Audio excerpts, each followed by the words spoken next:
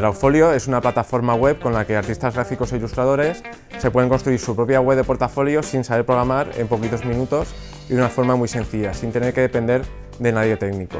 Lo que veíamos es que había muchos artistas gráficos e ilustradores eh, con una producción muy buena, pero yendo a agencias, a marcas, a editoriales con una presencia web muy pobre, con un blogger o un perfil en Facebook, y eso realmente les está restando oportunidades de conseguir esos encargos que les pueden hacer vivir de lo suyo.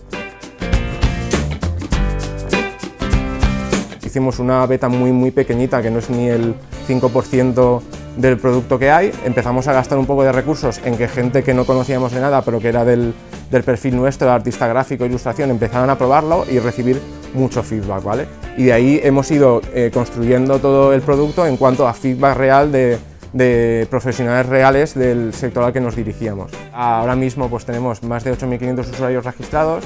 y sobre el 4%, 5% está en el plan de pago, con una tasa de renovación de superior a un 85%.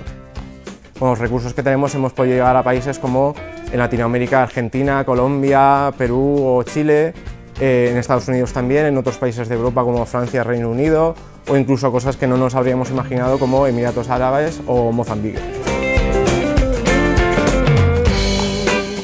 Yo ya tenía algo de relación con la Universidad de Valencia y a través de ahí pues, eh, me contaron que iban a abrir este espacio nuevo que podéis ver aquí en el campus de Tarongers y entonces me decidí a dar el paso porque estando en el Park Scientific primero pues conseguimos muchas sinergias con otras empresas y, otros proyectos empresariales que nos pueden ayudar a hacer, alianzas,